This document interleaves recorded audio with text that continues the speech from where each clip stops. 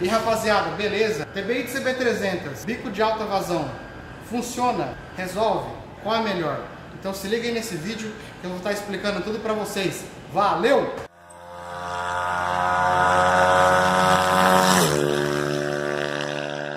E rapaziada, beleza? Estamos começando aí mais um vídeo da playlist. Vamos chamar a playlist aí do Japa Explica. Eu tô tirando a dúvida aí da rapaziada sobre os produtos para ficar mais claro aí para todos os nossos clientes e os nossos inscritos aí do canal, beleza? Pessoal, antes disso eu queria dar um recado, a gente está com um site novo da Alto Giro. É, o site todo está com 20% de desconto. Todos os produtos estão bem mais baratos do que no Mercado Livre.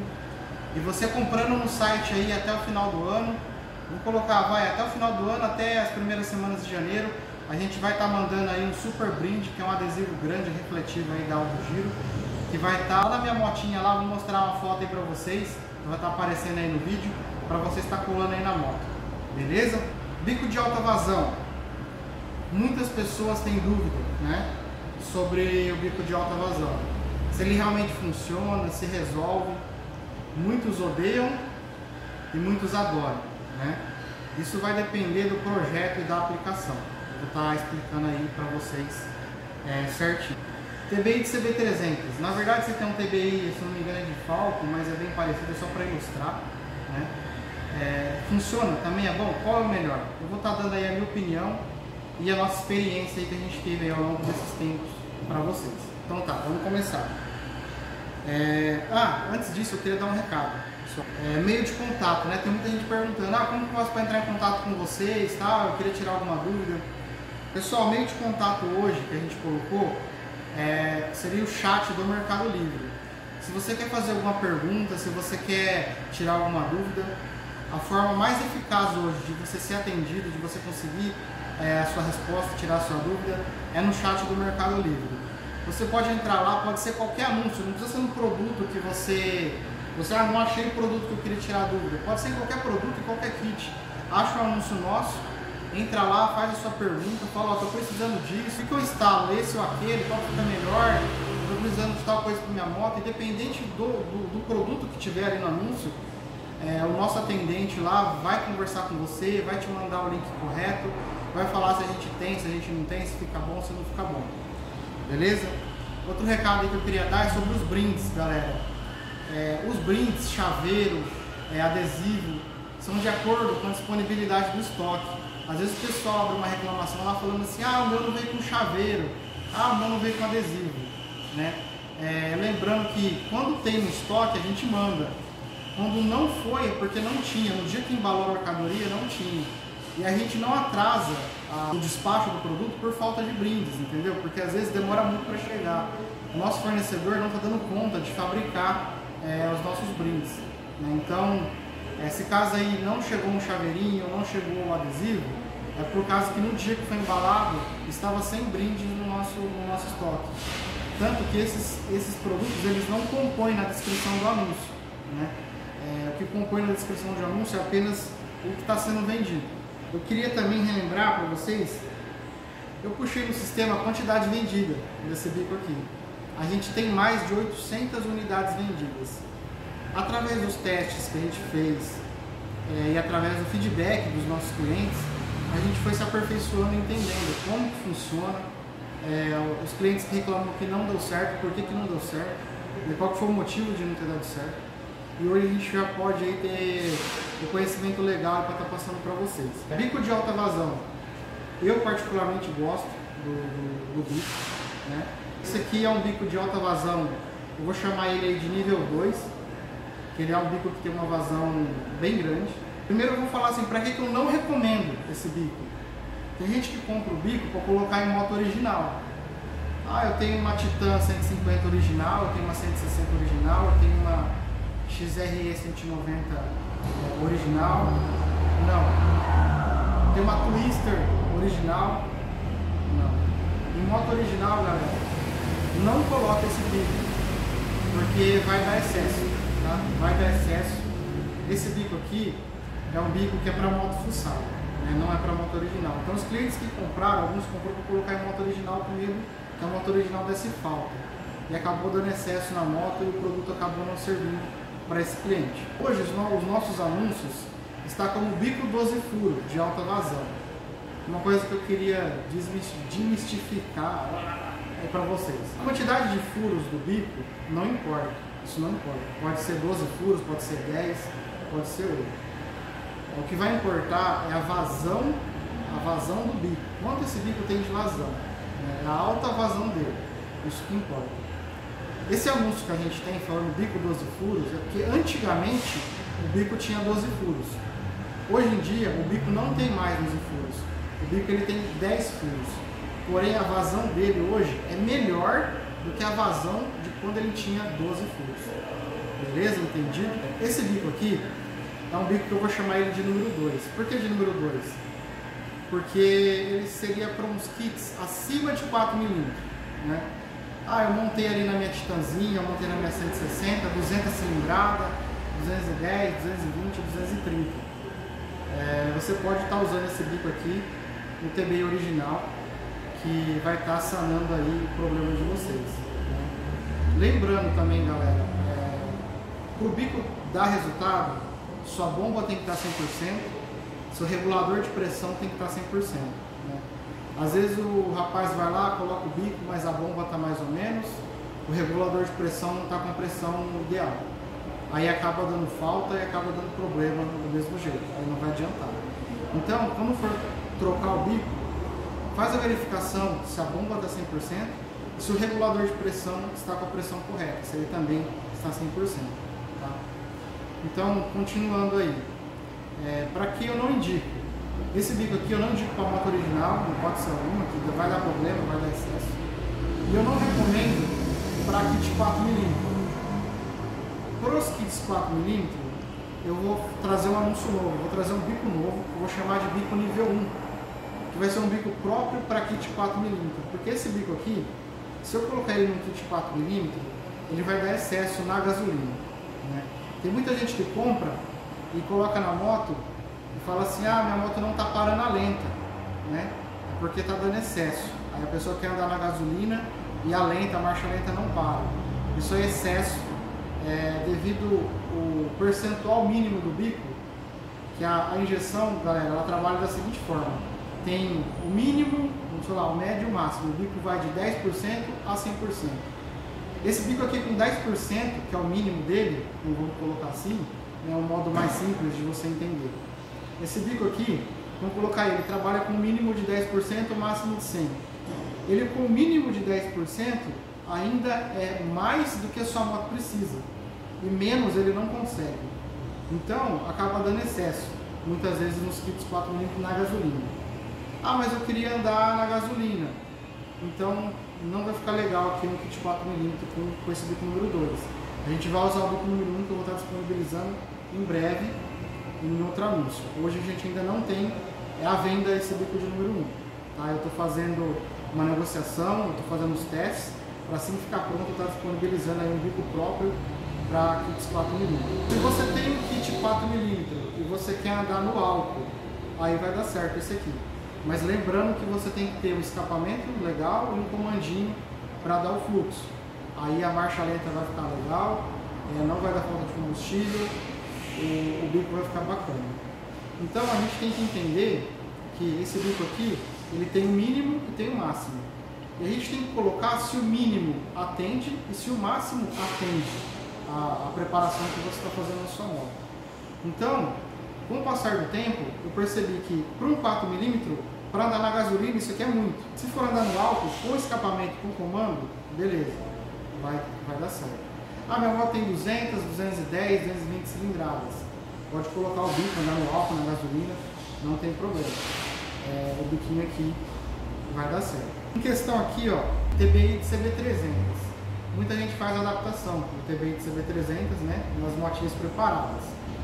E qual que é a diferença, né? Qual que é melhor, vamos colocar assim?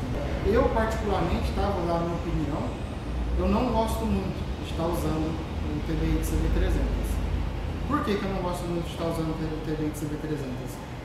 É, porque ah, tem que fazer uma adaptação muito grande na moto, é, tem que trocar, fazer adaptação de chicote, conector, e muitas vezes isso começa a dar falha na moto, é, mesmo às vezes fazendo da forma correta, é, começa a acender a luz do painel, aí você não sabe se a luz está acendendo no painel é devido à adaptação, é devido porque a moto está com algum problema mesmo, e você acaba aí perdendo aí essa leitura é, do painel, você acaba sabendo se está errado, se não está errado, porque devido à adaptação do produto, a, a injeção ela vai ficar piscando, então assim, é, isso aqui resolve? Resolve. Mas devido à grande adaptação que tem que fazer, é, a luz fica acendendo no painel da moto. Então assim, eu, eu não gosto de usar, tá, gente, esse, esse tipo de, de, de. Por que, que eu não gosto de usar? Porque o bico de alta vazão, ele resolve o problema no TBI original, no chicote original, e não fica acendendo luz no painel. Se caso a luz do painel acender de injeção, porque realmente está dando algum problema na moto. Então assim, é, a adaptação é bem menor, é, eu não perco a leitura ali do, do meu painel, então acaba sendo um produto que além de ser mais barato, ele atende e atende ainda sem perder é, parâmetros, né? Os parâmetros aí da, da, injeção da moto. Esse bico aqui, galera, projetos para kit 190, projetos para kit 210 cilindradas, pistão 67, pistão 68, até pistão 70 na, na gasolina, pode estar usando, não vai ter nenhum problema de falta de combustível. Se a sua moto tiver com bomba legal, tiver com um regulador de pressão legal, um produto aí que a gente recomenda. Ah galera, lembrando aí que eu esqueci de avisar vocês, é, esse bico aqui ele não serve naquelas Titan, as primeiras que saiu, aquela versão Power Ranger, a versão Mix lá, esse bico aqui não serve, tá? É, provavelmente é 2012, se não me engano, 2012 em diante. Então 2009, 2010, 2011, é, esse bico aqui ele não serve. Ele vai servir a partir aí da 2012, né, da Titan 2012, e para os modelos Honda. Né? Você pode instalar aí na 150, na 160, você pode instalar na Twister até 3, 4 milímetros na nova Twister. Você pode instalar na CB300 até 3 milímetros aí que não vai dar não, não vai dar falta né, de, de, de, combustível. É, o pessoal às vezes comprou e não deu certo, é porque estava usando a Titan antiga, né, a versão Mix, que a, a, o formato do bico ele é, ele é diferente. Então eu vou estar tá trazendo aí mais para frente né, um bico próprio, com kit 4mm, para poder rodar no álcool e na gasolina. Se quiser rodar com esse bico aqui, recordando novamente, vai ter que andar no álcool. Tá 4mm, vai ter que andar no álcool. Se andar na gasolina, pode ser que dê excesso. E outra ressalva, o TBI de CB300, quando você vai instalar ele no start, vai sobrar fio, você não vai saber fazer o que você vai fazer com esses fios que vão sobrar, é, a moto vai perder parâmetros. É, então assim, se você não tiver essa opção aqui, aí tudo bem, usa essa daqui que vai resolver, porém você vai perder alguns parâmetros da moto com injeção ela vai dar algumas falinhas, ela vai piscar e você não, não vai saber se realmente a moto possui algum problema ou se é devido à adaptação do, do equipamento. Muita gente, galera, quando faz a instalação do, desse TBI aqui na moto, eles desativam a luz do painel para não ficar piscando, né? E aí fala assim, ah, eu tenho TBI de CB300 na minha moto e a luz não pisca da injeção. Muitas vezes o preparador que fez, o mecânico que fez, ele desativou essa luz para não ficar piscando. E às vezes o cliente acha que está tudo certo, que está tudo adaptado certinho, mas na verdade é porque a luz do painel está desativada. Né? Porque todos os testes que a gente fez aqui, a maioria das vezes, tá? não são todas, mas a grande maioria das vezes, instalando da mesma forma. Algumas motos ficam piscando a luz do painel, outras demoram mais, outras já piscam na, na mesma hora. E outra ressalva também que eu queria lembrar e explicar para vocês. Quando vocês fazem a substituição do bico, demora um certo tempo para a injeção reconhecer o, o novo bico e fazendo a leitura correta e começar a fazer o ajuste da, da mistura água-combustível. Muita gente coloca o bico na moto, a moto começa a falhar, começa a pipocar, o cara já entra em desespero, já começa a ligar na empresa, ó, oh, coloquei aqui, não está funcionando tal. Galera, a moto ela demora um tempo. Tem moto que demora 30 minutos, tem moto que demora uma hora, tem moto que demora 15 minutos, mas com o tempo ela vai regulando isso, isso demora. Não tem um tempo exato. Isso tem muito a ver de moto para moto, de acordo com a, a, a sonda, a sonda lâmina do escapamento, de acordo com como que ela está lendo esses gases, de acordo com o que ela está trabalhando. Tem muita moto que o cliente anda muito tempo só no combustível. Ele tem a moto, vamos supor, 5 anos, durante 5 anos ele ficou usando só gasolina na moto, não trocou o Aí normalmente, muitas vezes acontece da sonda travar.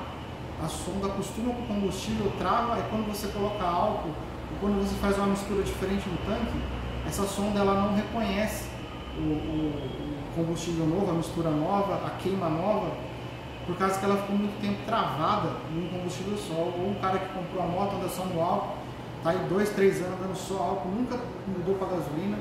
Muitas vezes acontece da, da sonda não reconhecer mais, a sonda travar. Não vai conseguir fazer a leitura do bico. O que eu recomendo para vocês?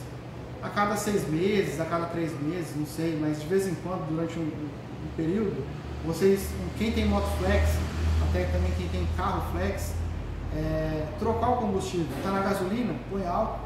Ah, eu estou andando no álcool, vou pôr gasolina para fazer com que a sonda trabalhe, reconheça a nova queima, faça a injeção reprogramar e se ajustar para a queima nova. O que aconteceu aqui já também algumas vezes é de moto de cliente que só andou no combustível, na hora que colocou o bico não conseguiu reconhecer. Então aí uma dica que eu dou para vocês é interessante de em período em período, aí, pelo menos sei lá uns 3 meses, 4 meses, inverter o combustível. Quem roda no álcool colocar um pouco de gasolina, quem roda na gasolina colocar um pouco de álcool, para fazer aí a sonda tá trabalhando, a injeção tá trabalhando, esse sistema nunca travar. Então espero aí ter tirado a dúvida de muita gente né, sobre esse bico aqui. Lembrando, foram mais de 800 unidades vendidas, de tudo que a gente vendeu no kit, de tudo que a gente vendeu no site, de tudo que a gente vendeu no Mercado Livre. São vários feedbacks de, de cliente. É, eu tinha muita dúvida sobre esse produto aqui, é, eu também no começo fiquei meio assim, até a gente fazer os testes na, na, na máquina, entender como que o produto trabalha. Né? É, o Henrique comprou uma máquina de bico para testar, é um equipamento que não é, não é barato, né? se não me engano aí foi uns 3, 4 mil reais a máquina que faz a leitura da, da vazão do, do, dos bicos, para a gente realmente poder comparar com os bicos de original, com os bicos de outra marca, para a gente saber ele é 10%, ele é 50%, ele é 100%, qual é a vazão da, da, do produto, para a gente poder estar tá indicando aí para vocês. Tá? Então espero ter esclarecido bastante dúvida aí do pessoal, são dúvidas que eu também tinha no começo, e agora eu já poder estar ajudando vocês aí na escolha correta. Beleza? Valeu!